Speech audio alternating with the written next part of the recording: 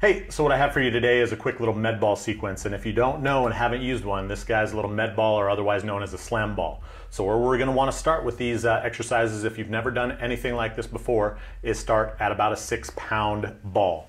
Um, otherwise, you know, if we've never done anything like this, it's a great place to start so we're not causing injury or otherwise.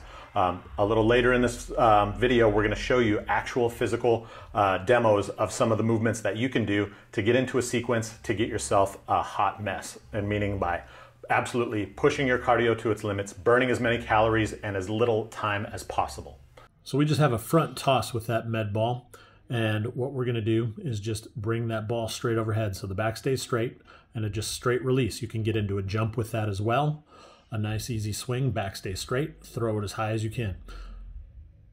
Next, we're going to work a little bit into oblique core. So we're going to take that ball up and around and slam it to either side. So as you get more comfortable with it, you can bring a lot of intensity and go fast and work your cardio until you're just exhausted. So reps on that can be whatever you'd like it to be. This is a core braced slam. So we're not bending, we're not doing anything, but just a slam. Intensity or versions of this can be a sumo slam where we get up onto toes, do everything you can to bring that ball just straight down into the ground as hard as you can. A, a side view of that, really bring that and your whole body weight and otherwise just straight down into that ball.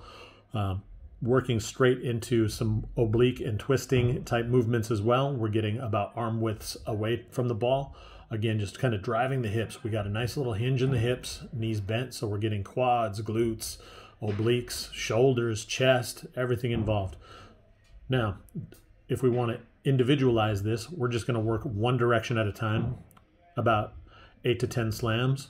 We can even stagger the feet to cause you to create more stability in your hips as we get into rotational stability things. And same thing, your amount of work that you put in is everything. So once you're wiped out, push your body.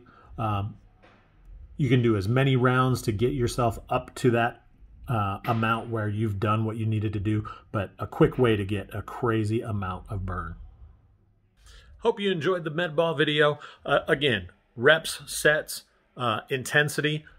Do as many rounds as you can. There's millions of different variations. I wanted to give you just a simple few uh, ideas of where you can get started with something like this. So if you're stuck with any of this, if any of this is hurting you uh, and you need to find ways to uh, modify it, hit me up. Happy to help.